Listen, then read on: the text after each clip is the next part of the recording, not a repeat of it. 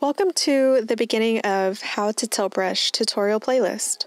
This is part one, episode one, and in this episode, we'll start with the process of how to download and install Tilt Brush. But first, here's some basic information about Tilt Brush. It was released April of 2016, and it is available on Steam for the Vive, Oculus Rift, and Windows mixed reality headsets. It is also available in the Oculus Store exclusively for the Oculus headsets.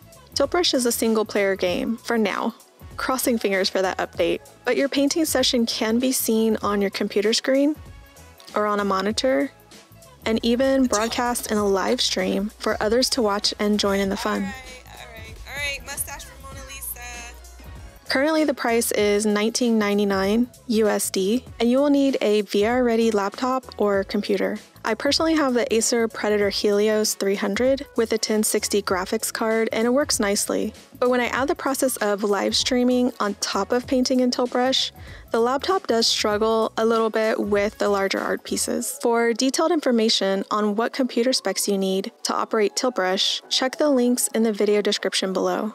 I've also put links in the description on how to install Steam and where to find the Oculus Store, which are both platforms you'll need to open Tilt Brush app depending on which headset you have. So go ahead and find Tilt Brush on the platform of your choice. I'm going with Steam because I have a Vive. After paying for the app, you will find it in your library of games. From here, you can install or uninstall the app. During the installation, I like to checkmark the Add Desktop shortcut so that I can find it easily on my desktop.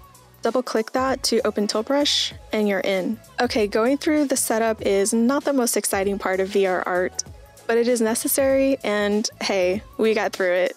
If you'd like, go ahead and refer to the forums and help links that I've posted below for further in-depth setup and troubleshooting help for the headsets and platforms. Join me in the next episode to learn about the basic controls as we go through the quick intro tutorial with the Vive, Quest, and Rift controllers.